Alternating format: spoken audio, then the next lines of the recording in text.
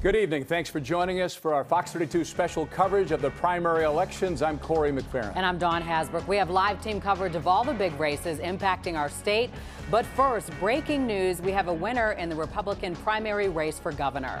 Darren Bailey, the state senator from Louisville, Illinois, takes the nomination. Here's a look at the numbers in that race. As you can see, it's not close at all. What may be slightly surprising is Jesse Sullivan right now is tied for second with Richard Irvin, both with 16 percent.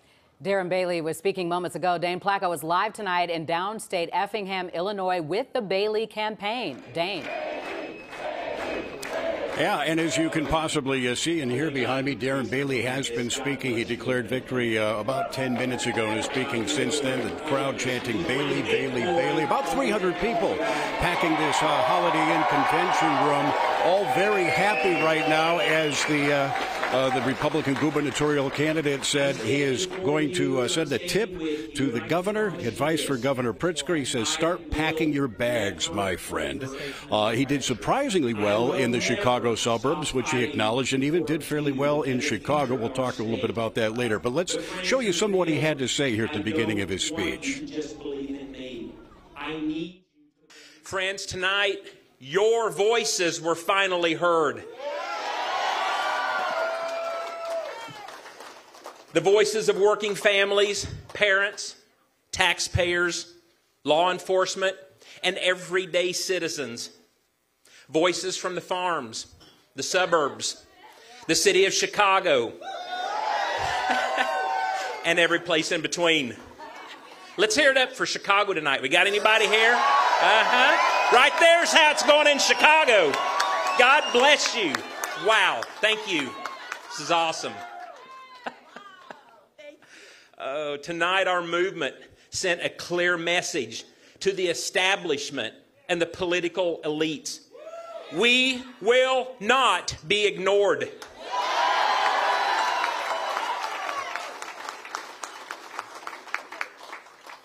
This primary has been a long journey, but one that we believe is worth every second, every mile, every moment. It's been an amazing journey on this campaign trail. And what's uh, remarkable in that speech you just heard was his call out to Chicago. As you may remember, uh, he is a lawmaker, uh, introduced some legislation that would separate Chicago from the rest of the state, and more recently on the campaign, campaign trail has been very critical of Chicago, calling it, quote, a hellhole. But you can see tonight he was happy with some of the uh, uh, voting results he got out of Chicago and uh, threw a, a, little bit of love our way, I guess you might say. He's still speaking right now. After he's done speaking, he's going to be working the rope line line at the front of the stage, uh, getting congratulations from his supporters, and then we expect him to come over here by the press area at the back of the ballroom, and uh, we can ask him some one-on-one questions. So that's the situation here in Effingham. Throw it back to you for now.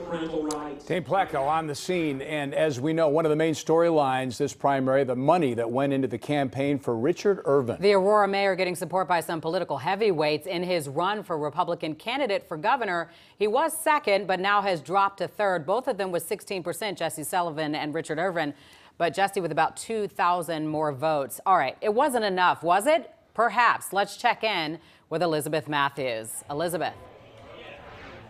About a half an hour ago, we heard from Aurora Mayor Richard Irvin conceding to Darren Bailey. And after a great loss, a great defeat, he still had these inspiring words to share. Tragedy in life is not failing to meet your goals. It's having no goals to reach in the first place.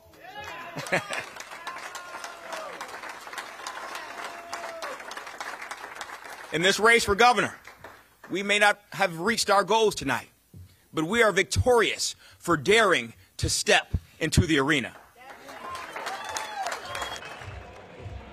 When Irvin came to the headquarters tonight, he came after presiding over a city council meeting just down the street as polls closed. He got off the podium and avoided our cameras for a follow up interview. Now, Irvin was formerly the frontrunner, boosted by $50 million from billionaire Ken Griffin.